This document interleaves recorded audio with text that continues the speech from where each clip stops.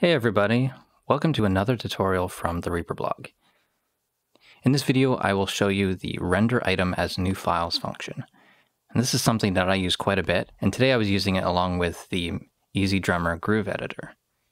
This is an action where you select an item and you basically drag and drop it to somewhere else, and it'll create a new file based on that selection, the entire item, um, if it's an audio file, it will create an audio file. If it's MIDI, it will create a MIDI file.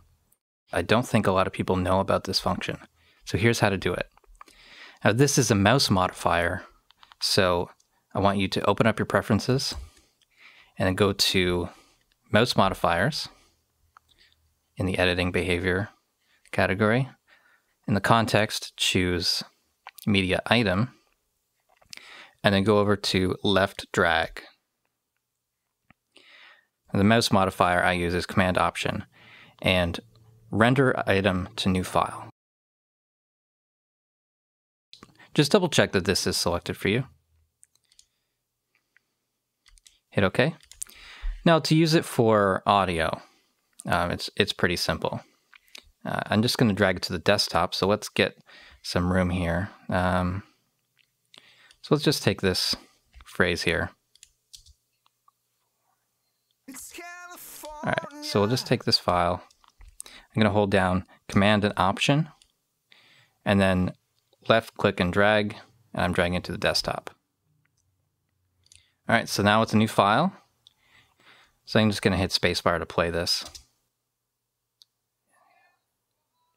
It's California. There you go. It's it's basically just um, it will consolidate any edits that you've done. Uh, it doesn't print any of the effects from the track. Okay, so now let's do it with MIDI. Let's open up the EZDrummer 2 editor. So I'm going to take this drum pattern here. Here's what I have so far.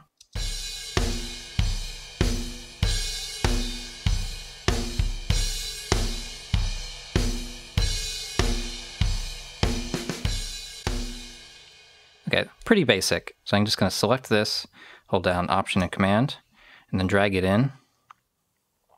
If you want to play it back in context with the song, you would put it in time, so bar 71, and then you would mute your item. All right. So now if we're playing, it's playing out of the MIDI uh, playlist in EZDrummer.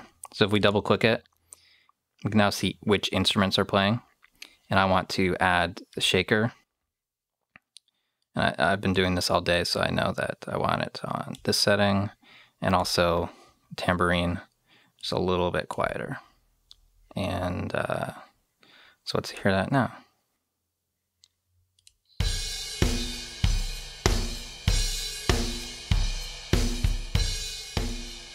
Yeah, pretty basic, but uh, that's all I need. I'm going to delete this and then drag and drop back into the track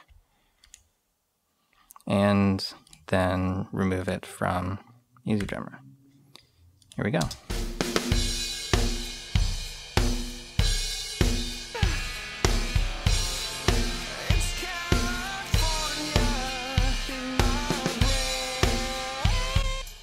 Okay, so that's the render item as new file function.